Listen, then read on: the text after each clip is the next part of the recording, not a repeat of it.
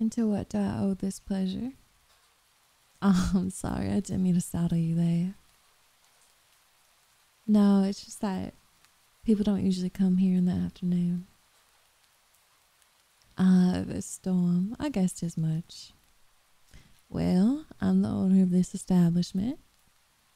My name is Sierra. I'll be taking care of you today. It's nice to meet you too.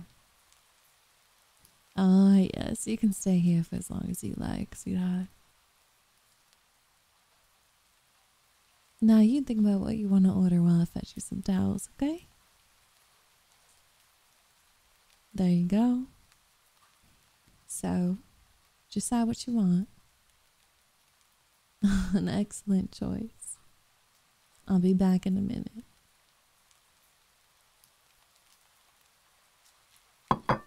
There you go. Care for a conversation? Well, this place tends to be very lonely in the afternoon, and you do look adorable. So, if I could, why, thank you. So, what's got you out in such terrible weather? Ah, uh, delayed schedule. Well, now I'm happy that I'm open around these times. So I can scoop lonely lost cuties like you. Aw, are you already getting a fever from being out there? Is that a blush I see? Aw, come now. How am I supposed to stop myself here? It's not every day that someone like you wanders into my place. So I'm just making the most of this situation. Walking from one storm into another, eh? I like the sound of that, though it does make me sound a little vicious. But unlike that storm, I won't make you sick. Well, maybe a little lovesick. Oh no, I'm not like this with everyone. Takes a special kind of person to bring out this side of me. You want me to refill you? Oh, it's no trouble at all. It's my job, ain't it? So do you live around these parts or...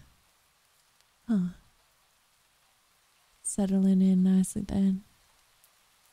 If you ever need someone to show you around town, I'm more than available.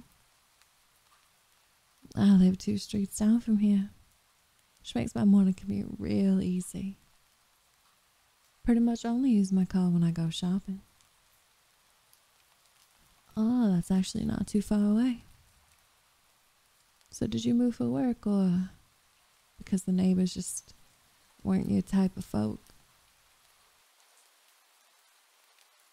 Well, look at you, fancy pants. Well, it's certainly fancier than me and my little shop here. True, not everyone could run their own place, but I wasn't sure I could do it either back when I started out. Now it feels like the most natural thing ever. And on days like this, well, it ain't very hard. Though I understand why people might not want to come with the weather like this. Doesn't get them in the mood for coffee and biscuits. yeah, I sell biscuits and all kinds of baked goods.